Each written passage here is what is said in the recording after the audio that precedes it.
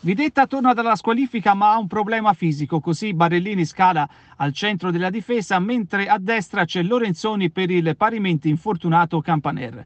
Alle spalle di Falomi, preferito all'ultimo arrivato Jukic, Bencini vince il ballottaggio con Mencagli per questioni anagrafiche nella linea che comprende anche Lunghi e Gerardini. Di fronte un Ostiamare a trazione anteriore guidato dall'esperto De Sousa e che completa il tridente con Nanni e Mastro Pietro. La fase di studio dura oltre un quarto d'ora, i taccuini sono rinnovati al minuto numero 17. Da sinistra Mastro Pietro pesca De Sousa in area, girata aerea sul fondo.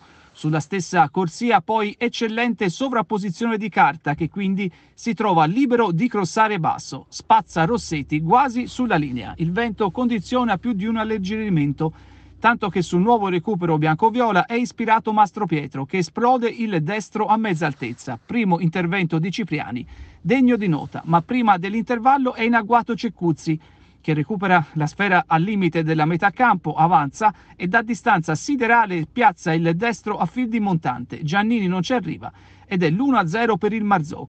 La ripresa si apre come si era chiusa la prima frazione, ovvero con un gol dei padroni di casa.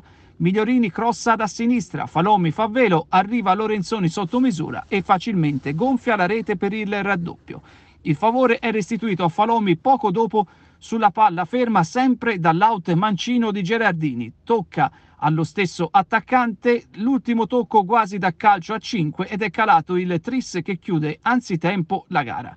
I laziali subiscono il contraccolpo e ancora il centravanti all'occasione del poker. Per peccando di egoismo ed ignorando stavolta Bencini, concludendo fuori dallo specchio. Che gli ospiti abbiano mai perso la testa è confermato quando accade al minuto numero 19. Nanni chiede fallo non fischiato al limite, il direttore di gara lascia proseguire ed il numero 7 manda platealmente a quel paese l'arbitro che risponde spedendo attraverso il cartellino rosso il giocatore sotto la doccia.